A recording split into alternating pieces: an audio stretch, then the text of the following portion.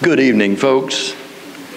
Thank you, David, for the scripture reading and Eddie for the prayer and for the good singing. We appreciate it very much. And I just want you to know it's an honor and a pleasure and a privilege to stand before you tonight.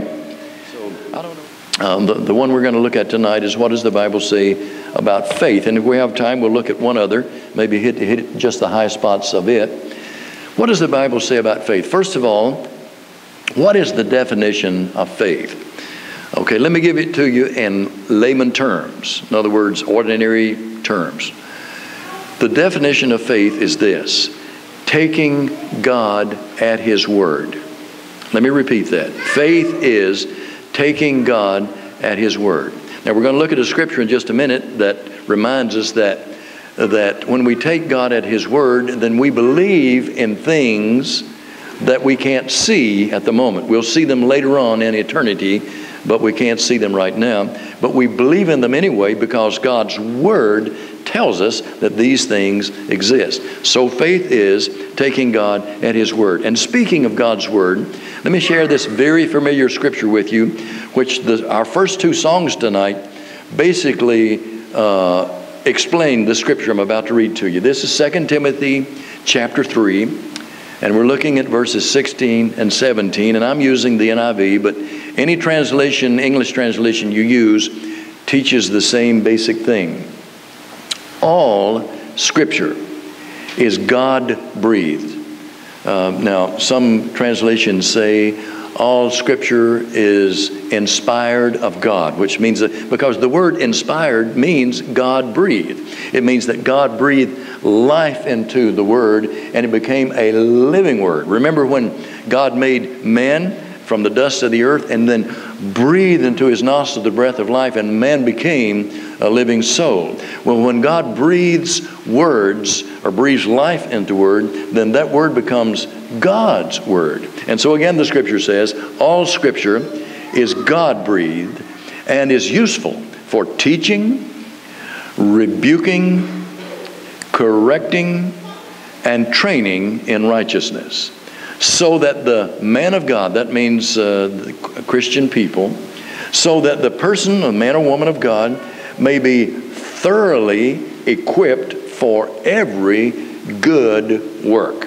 So the scripture is teaching us here that, uh, that, that, uh, that we are equipped for every good work.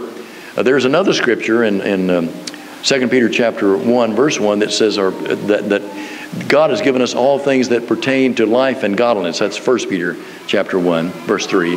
God has given us all things that pertain to life and godliness. Well, how has He done that? He's done that through His Word. Okay, you can't talk about faith until you, uh, you pay honor to at least two scriptures. The first one is this 2 Corinthians 5 7. This is a standalone scripture here, even though um, you, can, you can put it in context or you can take it out of context and just use it by itself. Either way, it means the same thing. And here's what the scripture says For we walk by faith and not by sight. Or, um, and by the way, the word walk, when you read it in, as far as Christianity is concerned, means uh, we live. It's according to the way, that's the way we live. And so we live by faith not, and not by sight which means that we believe and we trust in some things that we can't even see with the human fleshly eye. But we know that they're true, we know that they exist, we know that they can be counted on because God's Word says that they exist, they can be counted on, and that they are true. That's what it means to live by faith. So let's go to Hebrews chapter 11 and this, of course, is the primer, you might say, on, uh, on faith. Now, what I want to do, first of all, is to highlight verse 6. And without faith, it is impossible to please God. Let me repeat that statement. But without faith, it is impossible to please God because anyone who comes to Him must believe that He exists. Let me repeat that because anyone who comes to Him must believe that He exists and that He rewards those who earnestly seek Him. God rewards those who earnestly seek Him. So you say, How, I wonder, could I be rewarded of God? Well, the scripture says, earnestly seek Him. Be hungry for Him. Be, be hungry for, for you know, uh, hunger and thirst after righteousness. Uh, seek and you will find, is what the scripture is teaching. Now, let's go to the first of the chapter and let the scripture define faith. Now, faith, verse 1, chapter 11, Hebrews. Now, faith is being sure of what we hope for and certain of what we do not see. This is what the ancients were commended for. By faith, we understand that the universe was formed at God's command, so that what is seen was not made out of what is visible or what can be seen. Then he starts telling us about people who live by faith. Verse 4 By faith, Abel offered God a better sacrifice than Cain did. By faith, he was commended as a righteous man when God spoke well of his offerings. And by faith, he still speaks even though he is dead. In other words, this man's example, Abel's example, where he offered to God according to God's word or God's instructions, and it pleased God. And that example still speaks today, even though he's been dead thousands of years. Verse 5 By faith, Enoch, and that's an Old Testament character you find um, early on in the Old Testament, in the book of Genesis. And here's a man who, he's an exception, but he didn't die. One day, God just took him. And we often say, just as a preacher's uh, um, story, so to speak, that one day Enoch was out walking with God, and they walked and walked and talked and talked and walked and talked all day long. And when the day was finished, God said to Enoch, Enoch, we've walked a long way today. As a matter of fact, we've walked so far that it's closer to my home than it is to yours. So why don't you just come on and go with me? Well, that's a preacher way of saying that Enoch didn't die. He just, uh, he's, uh, he, he's an exception. He, um, he walked with God, and God took him. So this is what the verse says, verse 5. By faith, Enoch was taken from this life, so that he did not experience death. He could not be found, because God had taken him away. For before he was taken, he was commended as one who pleased God. Now, how do you please God? Remember, Verse 6 It's impossible to please God without faith. And so apparently, Enoch was taken away to be with God because he pleased God, because he was walking by faith. For before he was taken, he was commended as one who pleased God. Verse 6 And without faith, it is impossible to please God, because anyone who comes to him must believe that he exists and that he rewards those who earnestly seek him. And now he talks about Noah. Noah, who built an ark a big old boat, even though at that point it had never rained. As a matter of fact, all during the time he was building that boat, and most of us believe that it took him 120 years to build that ark, and people, no doubt, made fun of him and laughed at him because he was building a boat to float in water, and they had never seen water. There had never been a flood. There had never been rain that's, that's stacked up on the earth like that. And now you could believe it because uh, you because of where we live. You know, you've seen the water stack up. But um, uh, so so why in the world would a man build a huge boat when it didn't even rain? Well, the reason he did it was because he was a man who lived by faith and he took God at his word because God said, Noah, here's what you need to do. You need to build a boat, a big boat, and you need to build it exactly according to these dimensions. And Noah did exactly what God, he took God at his word. Verse 7 By faith, Noah, when warned about things yet or not yet seen, in other words, it hadn't rained yet, in holy fear, that means respect for God, built an ark to save his family. By his faith, he condemned the world and became heir of righteousness that comes, of the righteousness that comes by faith. And now he gets into Abraham. Now here's Abraham who is, uh, everything's going along fine for him. He's, uh, he's just minding his own business. He's living in the land of his fathers. And as far as he knows, he's going to live there a long time, have a good life, and die a ripe old age, and never leave his home country. That's the way it looks. But he's also a man who believes in God and lives by faith. And so, verse 8 by faith, Abraham, when called to go to a place he would later receive as his inheritance, obeyed and went. Even though he did not know where he was going. And by the way, it's very important for you and I to trust God, even though we don't know where that trust is taking us. But we can be assured uh, that God is not going to lead us to some place that's going to result in our harm. He's going to only bless us and take us to the place that is, that is in our best interest and according to God's will. Well, Abraham didn't know where he was going when he left his homeland.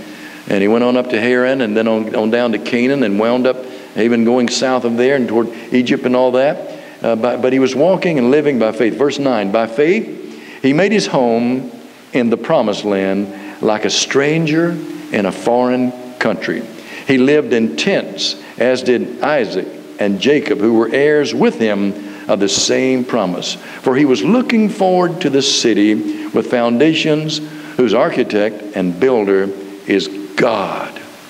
Well, Abraham did live to be a ripe old age. As a matter of fact, when he was about 100, verse 11, by faith, Abraham, even though he was past age and Sarah herself was barren, was enabled to become a father because he considered him faithful who had made the promise. Verse 12, and so from this one man, and he as good as dead, came descendants from this one man, as good as dead, as numerous as the stars in the sky, and as countless as the sands on the seashore. Verse 13, listen to this statement. All these people were still living by faith when they died. There's a song in our songbook called Living by Faith in Jesus Above, trusting, confiding, or trusting is it and, and abiding in his great love. Well, the scripture has given us and, and goes on to give us many more examples of people who live by faith. Now, why would, the, why would God use the Hebrew writer to use what we call an entire chapter talking about people who lived hundreds and even thousands of years ago and pointing out their example to us. Why would he do that? Because he wants us to see how faith works in real life, how it works in our lives. He wants us to see the practical aspect of faith. It's, yes, it's believing in the invisible, uh, but it's also taking God at His word and doing what God wants us to do and obeying God because God simply tells us that this is what we need to do to please Him, and we do it trusting, knowing that it's according to God's will, and that God will bless us if we earnestly seek Him. Okay, that's a little bit of a primer on faith, and of course, Faith is one of these things that Eric and I and any other gospel preacher can talk about for decades and never exhaust the subject or the examples that the scripture gives us. And so it's very important, I think, for us to understand that. Okay, let's move on to this business of works and treasure in heaven. Now, we're going to have a, a preacher, deacon, um, elder meeting in a little while, and so I won't, I won't dwell on this a long time. And I'll take up on that final subject uh, which is division, or you might call it unity, which is the other side of division, next week. Okay, works and treasure in heaven. Now, these two things are, uh, are, are, they are intertwined. They are linked together. They're like links in a chain. Now, first of all, let me explain to you what I'm not talking about when I'm talking about works. I'm not talking about working our way to heaven. I'm not talking about working in such a way that God feels obligated to give us eternal life because, hey, we've just knocked ourselves out. We've just worked, worked, worked, worked, worked, and therefore we have earned our own salvation. Because the scripture teaches that no one can earn their salvation. It is a, well, okay, let's just go to Ephesians chapter 2.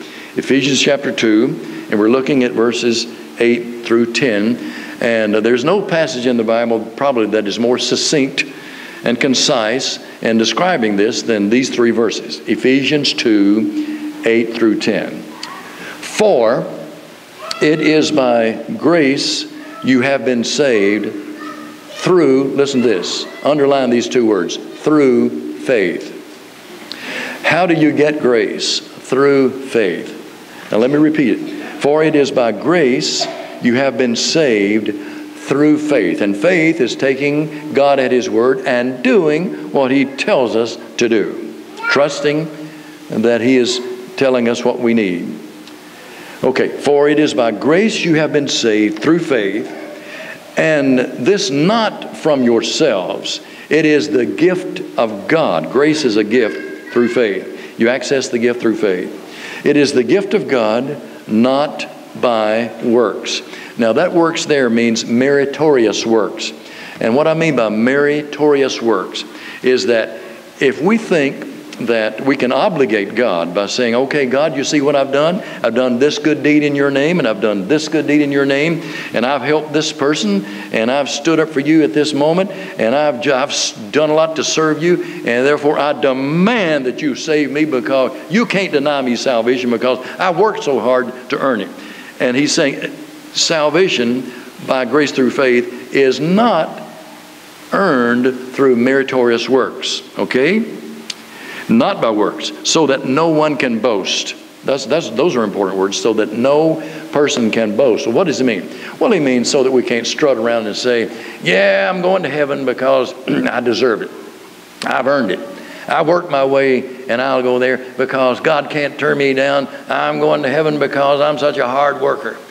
No, he says no one can boast. All we can do is just humble ourselves before God and say, Thank God that He loved me so much that He sent His Son to suffer and pay the penalty that I deserve.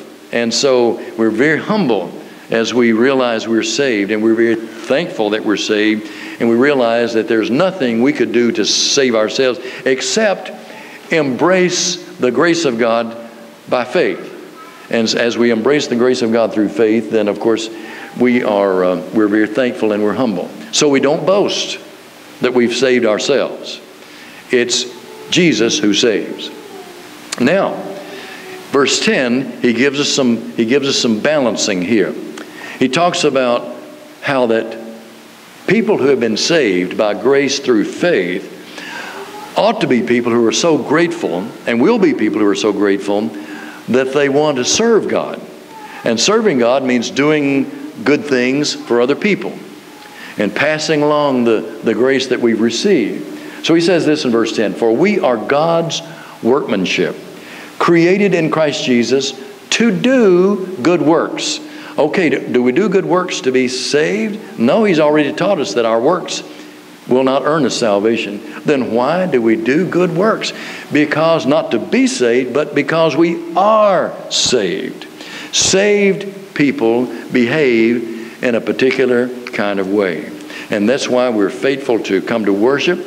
That's why we have our visitation program. That's why we are generous in our giving. That's why we're in our day by day lives, we are looking for ways in which we can be a, a bright light and we can be salt uh, to the, the salt of the earth, so to speak, in people's lives, because we've been saved for good works, which God prepared in advance for us to do. So God had in mind all along that He would rescue and cleanse a group of people.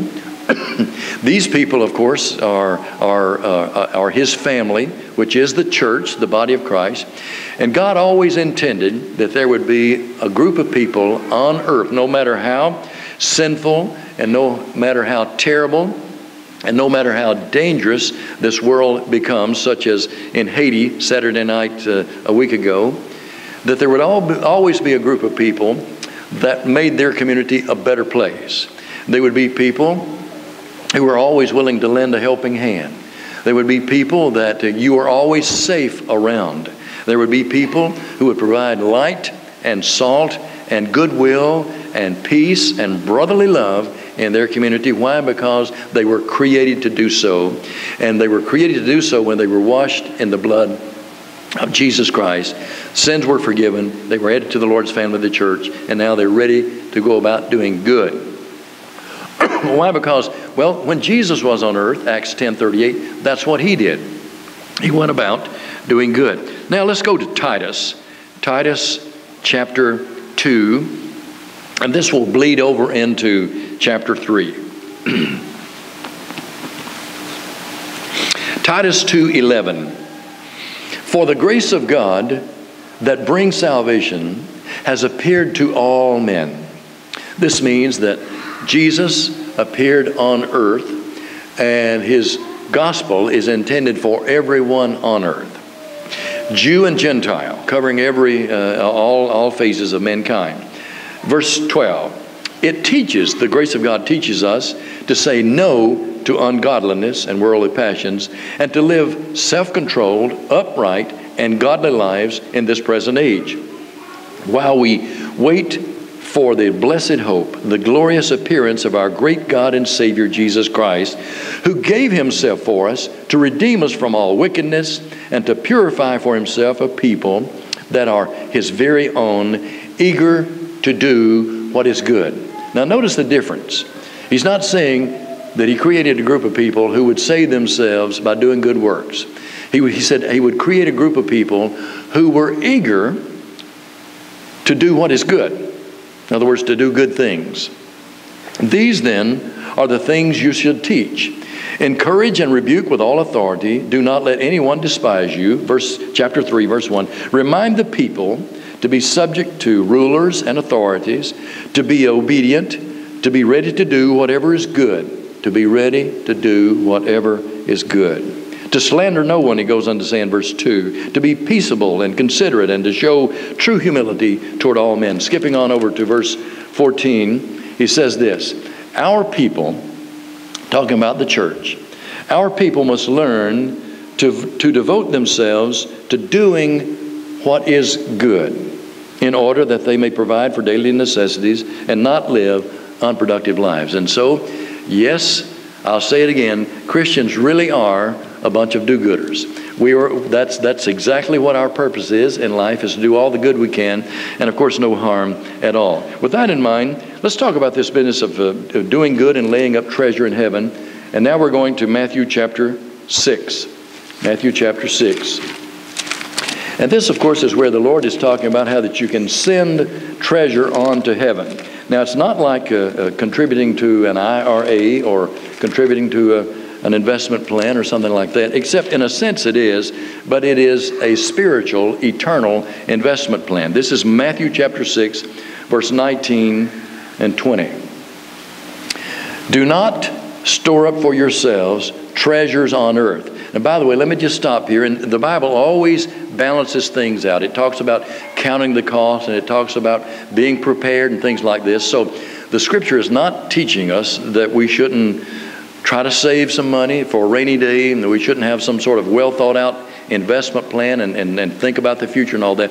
What the Bible is teaching us is that we should not put all of our hope on, on things that are material because material things are um, they're well they're they're they're temporary and they won't last.